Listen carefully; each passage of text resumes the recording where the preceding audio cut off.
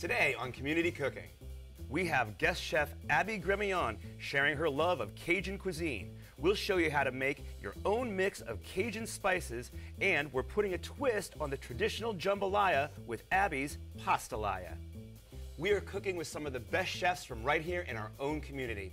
So grab a seat, get comfortable. We've got another great meal for you. This is your community cooking.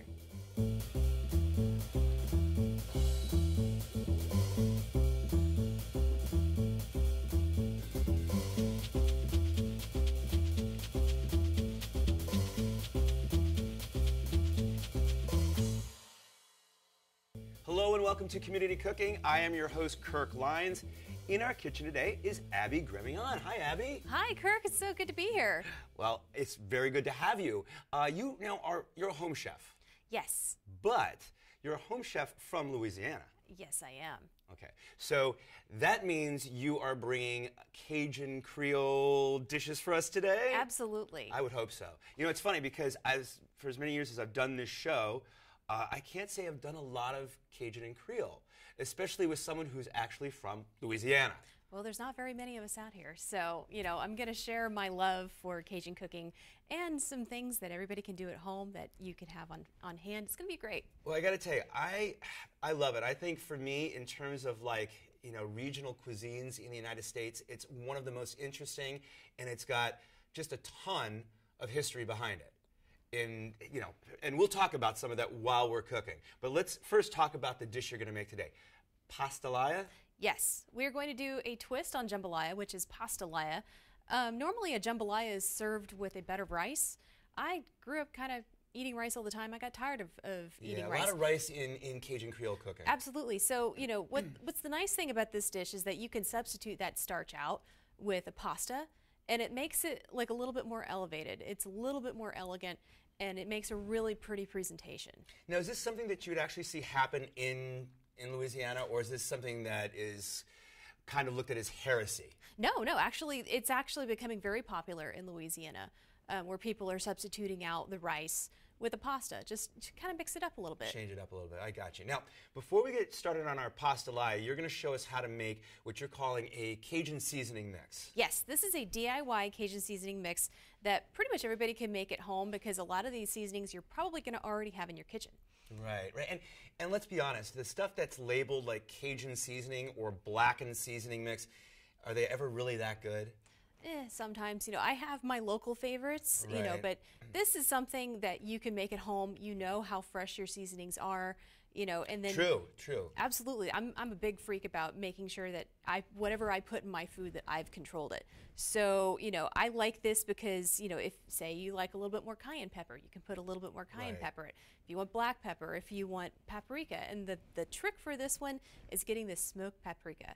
That's really what puts it over the edge. Yeah, yeah. So well, why don't you tell us, go through all the spices and tell us what you have in yours. Okay, so we have some salt, the smoked paprika, garlic powder, Okay. Throw that in there. We've got our traditional black pepper. Throw that in there. We've got some really beautiful thyme. Okay. Throw that in there. We have, of course, our cayenne pepper. Yeah, got to give it a little heat, right? A little bit of heat. Um, we have our onion um, onion powder. And last but not least, we have some Italian seasoning. Okay. So most of this little is basil, little oregano, little, little.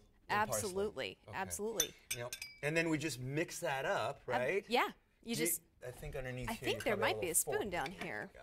So just mix that up really nicely.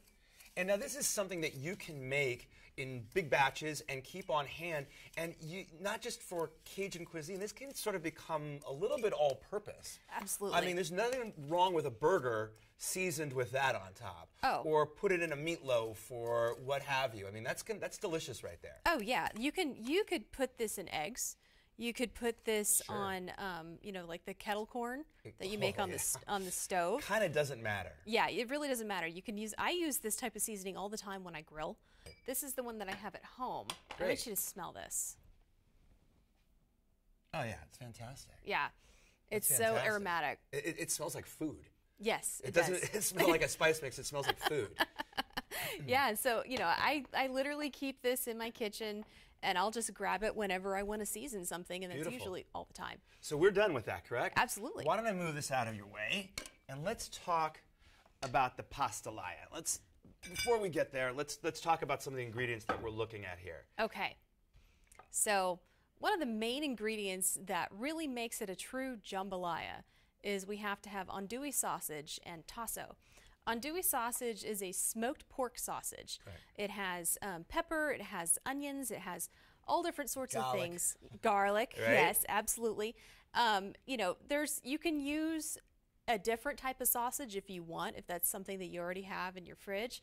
But to truly have it be authentic, you need to have andouille. Now, tasso is also made from pork. It's also a pork uh, shoulder, but this one is seasoned uh, very heavily, so that way you have that extra kind of pepper kick. And it's and it's and it's cured, air, air, and it kind of creates that sort of crust around the outside. It does, it does. So then when you eat it, it's kind of like meat candy goodness. It's awesome. And and and people from Louisiana, uh, if you're cooking Cajun or Creole, would be using this almost like if you would use like bacon or uh, or pancetta in like an Italian recipe where you're you're you're, you're uh, rendering that and using that fat to cook your aromatics. Correct? Absolutely, Well. I'm impressed that you brought real tasso. I'm I, I'm salivating right now. It smells so good. I want to cut off a slice and just start eating it. no, no, no, no, not yet, not Okay. yet. okay. So we've got our tasso, we've got our, our, our andouille, and then just some regular players here, right? We've Absolutely. got onions, bell peppers, uh, tomatoes, green onions, parsley, and some thyme. some thyme, and then what do we have here in our smaller dishes? So we've got some um, some heavy cream. We have some garlic, uh, some thyme, oregano, the smoked paprika, Mm-hmm. and um, shoot. Oh, this is um, vegetable oil. Vegetable oil. Okay. And this is just pulverized garlic. Yeah, I you know you can either use the minced garlic that you get in the jar, Mm-hmm. or you can use the pulverized garlic that comes in the tube. Okay. I kind of prefer the pulverized garlic because I just feel like it cooks a little bit faster. Gotcha. Okay. So- and then we have some stock as well in water. Absolutely, we have some some chicken stock, and then we've got a little bit of water. Okay. So- All right. Well, put me to work. What do we do first? Okay, let's first let's start chopping up that andouille and tasso. Okay. All right. And how would you like how would you like both chopped? So we're going to chop it up into small pieces um, because you know you want to remember that when you're eating this, y- you'll usually be eating this with a fork. You're not going to have a knife. Okay. Um, so you cut it up into small pieces that are bite-sized. Okay. So I'm going to grab one of my handy knives. Let's, Okay. Let's start cutting. do you want to do one and I'll do the other? you want- Absolutely. Okay. Want me to start on the tasso? Sure. It's- Okay. I know that's all you, so I'm going to let you have And it. do you want it all chopped up, or yeah, let's go ahead and chop it all up. Um, I don't know if anyone's ever uh, said there's too much tasso in this recipe. you know what? Pass me some more of that andouille because I'm going to cut that up as well. Same so, thing with. Absolutely. all right, great. You know, you know, I mean, we we, you know we spoke about this earlier that that this there's such a uh, a rich history to Cajun and Creole cooking, and there's a difference between the two. Absolutely. Let's discuss that a little bit. Like, you know, why don't you give me your take on it, and we'll kind of go from there. The difference between the two cuisines. Well, you know, Cajun cooking is is really something that that you what you end up doing is is you use what you have and you make something beautiful out of it. You know, the Cajuns that came down from um, Canada down to South Louisiana and settled there, you know, they lived off the land. And so they would literally take the things that they had from either what they grew or the Hunted. or hunted Right. or raised and they would make something beautiful out of it and honestly it's a great way to have to have life be you know it's a great metaphor for life just take what you have and make something beautiful Right. So- the original farms to table. absolutely it really was we That's were what we call it now. well we were hipsters before it was being cool to be hipsters Uh, that's funny.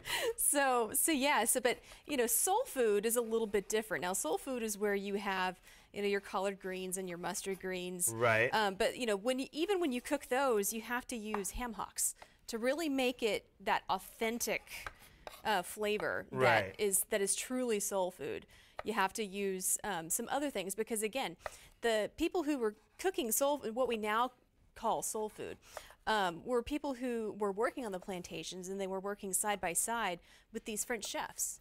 So, you know, they took the things that they had from either Africa or, um, or Jamaica and they, you know, blended it with French food to make really make something beautiful. And that became like Creole. Yes. Okay.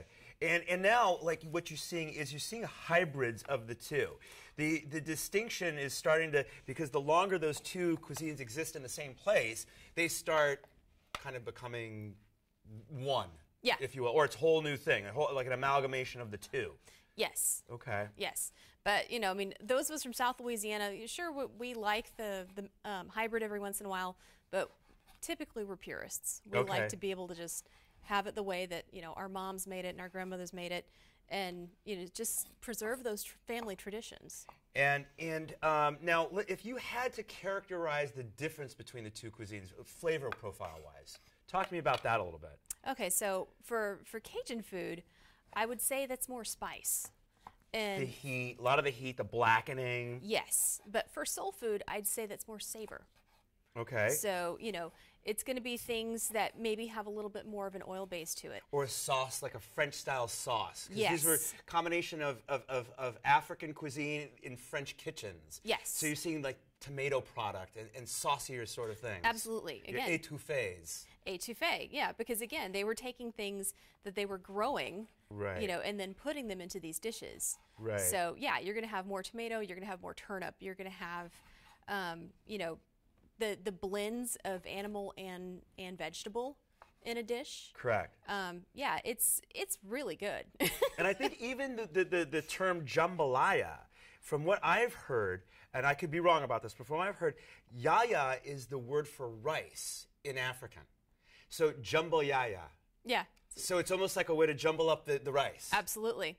There you go. So you know, a little bit of a little bit of a food history lesson, which I find fascinating. And like I said, I think that in terms of ethnic and regional cuisines, it's one of the most fascinating in our country. You know, and and sort of misunderstood. You know, I mean, let me ask you a question. Be honest about this.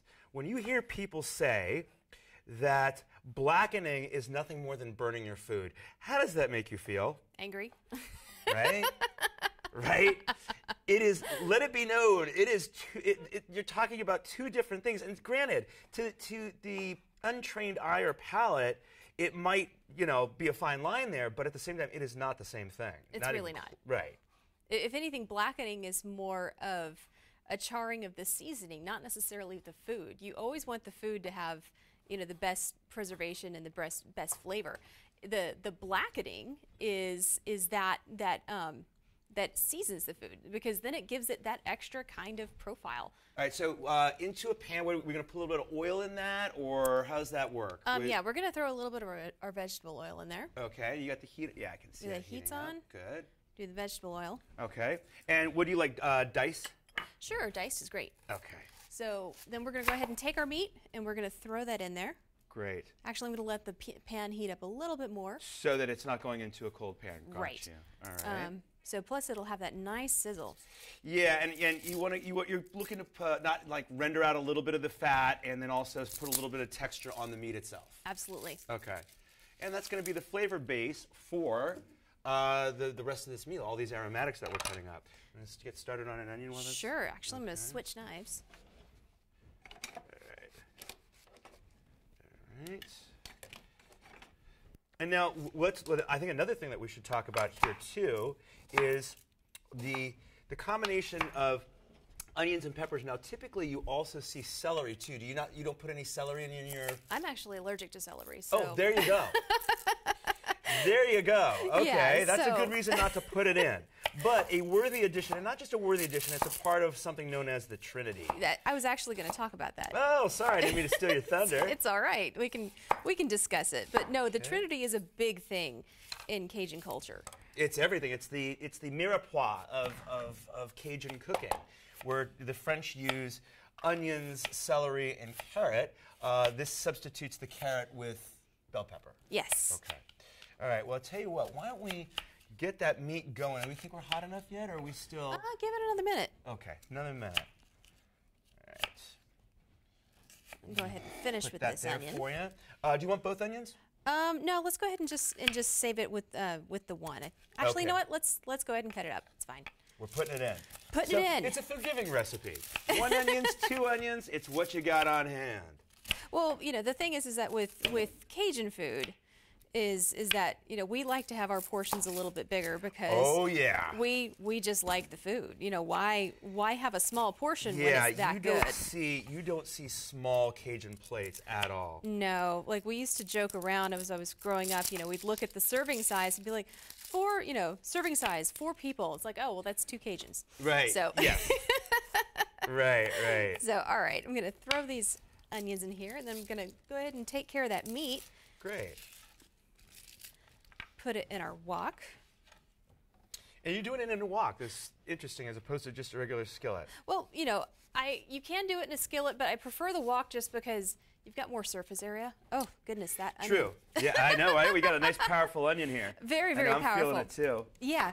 So, uh, so yeah, I prefer the wok because you have a little bit more surface area on it, um, especially once you throw in all those vegetables. Okay. You want to be able to have more room to work. All right. Well, now that we've got our meat in the pan, uh, why don't we finish up these vegetables and then we can come back from our break and finish up the, the, the pastalaya on the other side. Sounds fantastic. All right. Don't go away.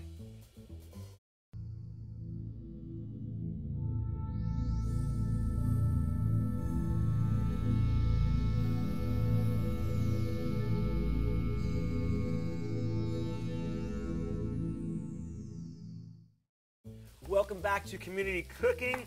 I am, am with Abbie Gremillion in the kitchen here, and we are making a dish known as pastalaya. Absolutely. Her take on jambalaya, but with pasta instead of rice. And uh, a lot of prep here. Um, you know, we've got the vegetables that we need to cut up, and that's what we're doing. We're on to the, the peppers and the tomatoes now. But uh, I got to tell you, uh, Abbie, the, the, the tasso and that andouille sausage in there smells so good right now. It smells like heaven. it's sort of ridiculous how good it smells. Sort of ridiculous. And we're just putting a little color on it, rendering it out. She's kind of keeping a close eye on it so that it doesn't burn. Toss. Stir that up real quick. See, that's another the reason why I like the wok, is that you know when you stir it up, Right. it doesn't just sit at the bottom. Right, and you, you get you get a lot, a lot of good coverage on it, and you can really spread it out and move things up the side. That's a good idea. Yeah. You know, next time I make pastalaya, did you come up with that term? No, actually, it's that's actually becoming very popular um, down in South Louisiana. Seeing it on menus and things like that. Yes. Okay. Plus, it's a great way if you're on a budget to be able to cook something that's really flavorful and tastes very decadent and not have it be that expensive. No, no. I mean, we're not talking about a, a ton of dough here in terms of ingredients. And we are actually, you know, we made the uh, spice mix on the other the, uh, the other segment, and we're going to be adding that to this dish, correct? Yes. Can't wait. Can't wait. Could you use canned tomatoes for this? You could, but you know, since we, uh, I got these tomatoes from uh, our Torrance Farmers Market. Um, I always yeah, like we to. should talk about that because this is a meal made for the Torrance Farmers Market, right? It really is. My goodness, all of this here. Even I, I wonder. I wonder if is there anybody there selling tasso or or andouille? No, there's not yet, but I am hoping that someone will take up the cause. Right? Yes. it's a call to action on community cooking here. Absolutely.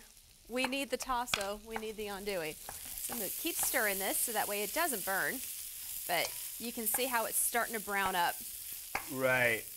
Oh yeah. And that's that's exactly what you want to do. That's a good thing because also too we're going to be cooking this in some liquid and it, it won't be quite as brown after it gets done cooking in the liquid. It takes some of that away. Exactly. away. So if it's a little on the darker side, as long as it's not burnt, you're good. Yep, that's it. All right. We probably could get the onions in there pretty soon anyway. And That'll, Yes. That'll give it a little bit of, of, of water and uh, water content so that it doesn't burn. You know, and those those white onions or even the the yellow pearl onions, man, they have such a great taste, and they really add to the dish. So also sort of forgiving. You could use different types of onions and Absolutely. That's why. That's why. You know. I mean, I think a lot of people overthink Cajun cooking when in reality it's actually very simple.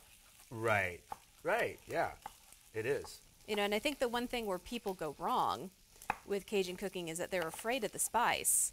The thing, the thing about Cajun cooking that makes it so good is that it's spicy. You got to be fairly aggressive. You do. Right. Okay. That makes sense. So don't be afraid. Yes. Everything yeah. will be all right. More is more, not less is more. yeah, but you know, it's always good to, you know, as you as you keep cooking, that you you taste it. So we that looking way. for all these green onions? Um, yeah. Well, actually, let's cut up about half of them. Half. Okay. Maybe a little bit more. Grab like two more. There you go. All right.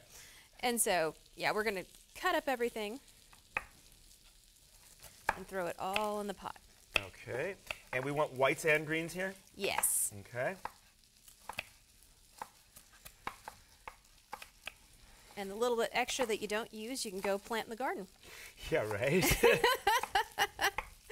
I've done that many times. Just stick them right in, right in the ground. exactly.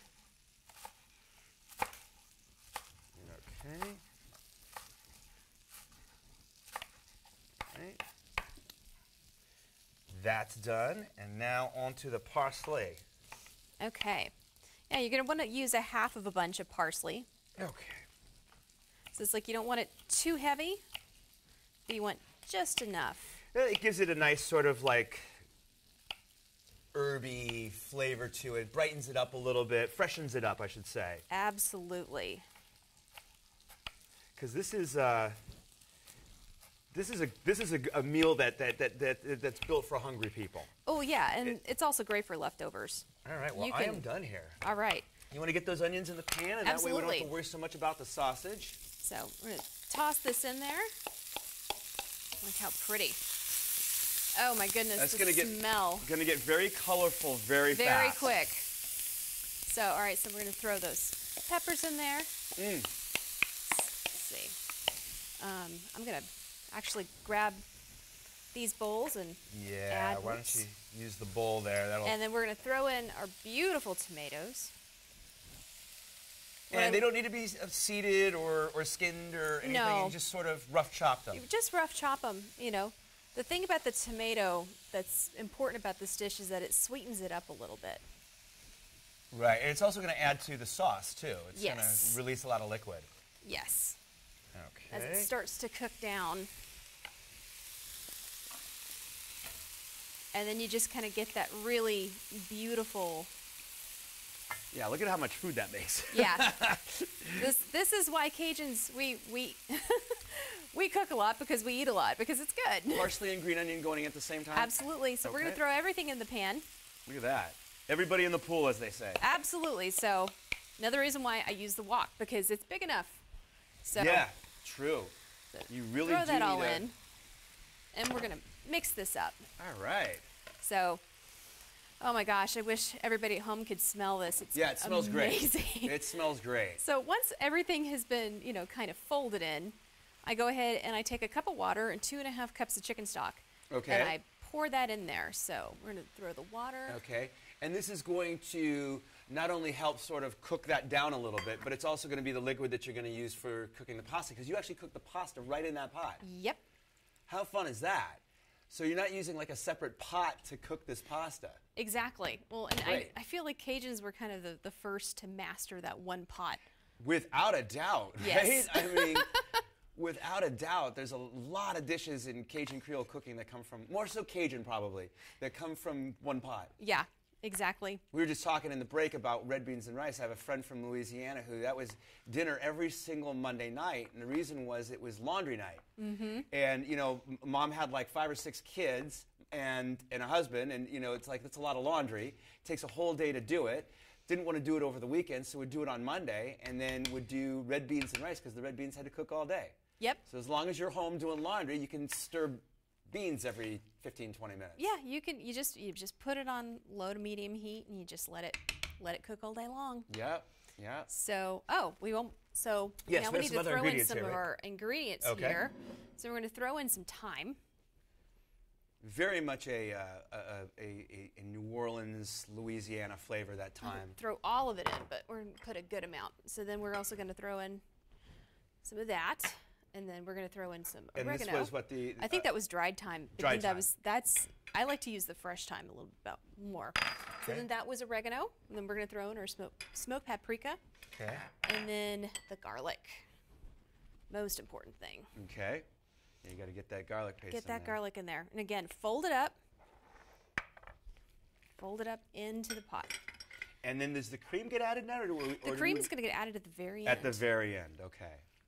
So, So we have to bring that up to a boil now, basically. Yep. Correct. I'm gonna adjust that heat up to It high. It smells fantastic. it really does.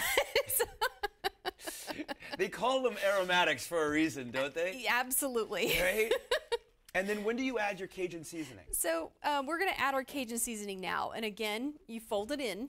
Okay. So, And this is sort of is this a to taste sort of thing or? uh, yeah, I would say so. You like the the recipe calls for um, I think a teaspoon and a half. Okay. But I'm just gonna throw a good amount of it in because, as you can see, we've got a lot and we just food. talked about being aggressive with our, our Cajun seasoning Yeah. and not, you know, Don't be scared. underdo. Right. Right. so, oh my goodness, this smells amazing. Now, do you do you find you know it's funny because I think that like a lot of people associate Cajun food with not just spicy but also heat, but it's really not a ton of heat. It's really not. It's just it's I, I would refer to it more as like intricately spiced. Yes. Very intricate. Yes. You look at some like old uh, recipes that have you know been around for hundreds of years, and they call for uh, like ingredients like sassafras, you know, gumbos, the sassafras that's in there, the gumbo filet. Mm-hmm. You know, and uh, or, or, or things like uh, mace. Yes. Which is the covering of the nutmeg. Okay, so we once this comes up to a boil, we are going to drop our pasta, and then when the pasta is done, we're kind of eating. We're, we're eating. So, you know what? Actually, I'd like to throw that pasta in now. Let's do that. I think it's perfect time to go to break. We'll get cleaned up, and when we come back on the other side, we're eating pastalaya. Don't go away.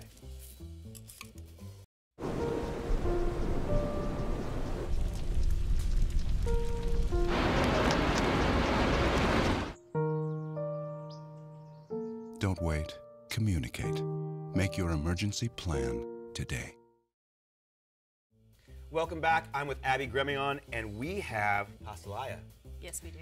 We should really quickly mention that uh, our pasta we used linguine, but you could feel free to substitute that for any long pasta. Absolutely. You did break it up though when you put it into the pot so that it fit into that. Otherwise, it would be a little unwieldy. Yes. Okay. And then if you notice, it made this beautiful sauce, and I think that the starch from that pasta just lended itself to the to the to the, the sauce and made it nice and viscous. Yes, and we added just a little bit of cream at the end. We did once we killed the heat. So why, why don't we taste All right, this? let's taste this. I can't wait any longer, and I want to get a bite with some of this andouille because that looks great. Mmm. Well, I'm going to tell you, I've had a lot of jambalaya in my life, and that has a legit Louisiana uh, jambalaya flavor to it. I mean, I really, really like it. And it's so interesting how there's so many different things that all become one in terms of the spices and the herbs. Yes, you pick out things here and there, but it really is an amalgamation of everything we put into that, that, that pot. Absolutely. As, as we say in South Louisiana, donar me chasse, c'est bon way, which literally means thunder my dogs, that's good. All right. Well, we will leave it at that. Abbie, thank you so much. Thank you. Please join us again. And this just goes to show you we really are cooking with some of the best chefs from right here in our own community. On behalf of myself, everyone here at the show, Abbie, thank you for watching Community Cooking. We'll see you next time.